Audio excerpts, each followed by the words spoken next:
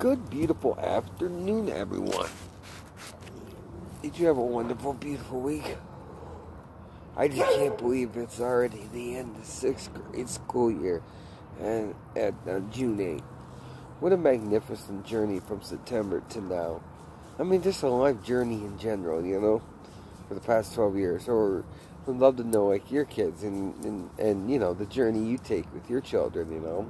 No matter if it's fur or, you know, your babies, regardless. It's a life journey, one of a kind.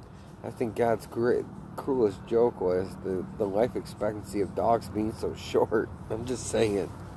Man.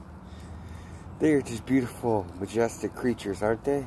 The fur babies. Cats love cats too. My daughter's like, got like really, she is in love with being a cat mom. Like she's watching over these kitties. Like she's the mom. Like she's. it just makes me laugh because yeah, she's really taking this cat mom job very seriously. I'm glad to see it though. I'm not gonna lie to you. So Michelle, did you have a good day? Deborah, how you doing? Maria, How's it going? Carol, hope you're having a beautiful day.